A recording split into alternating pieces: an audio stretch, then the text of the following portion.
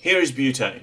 So butane has one, two, three, four carbons, and it has two, three, four, five, six, seven, eight, nine, ten hydrogens. So therefore, its molecular formula would be C4H10. Now with a with an isomer, I don't want to change the molecular formula. And if we're using the model kits, there's the easiest way to make sure that we know that we've got isomers is if we change this model in some way, but don't add or subtract anything from it, because then we know we've got the same number of atoms of each type uh, in our final product. So one of the ways that we can do this, and if you're looking at chain isomers, the simplest way to think about this is we're actually changing the length of the chain. So we're going to move something somewhere to change the length of the chain.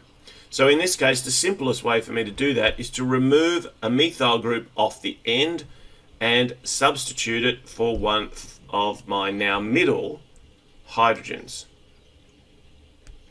If I do that, you can see that I haven't actually changed the um, number or type of any of the atoms. So I still have one, two, three, four carbons, and I still have my three, four, five, six, seven, eight, nine, ten hydrogens. So the formula is still the same, but now we've got a different compound.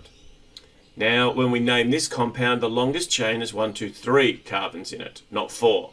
So this now becomes a propane, but there's this little group above um, the way that I've oriented it, which is a methyl group. So this would be methyl propane.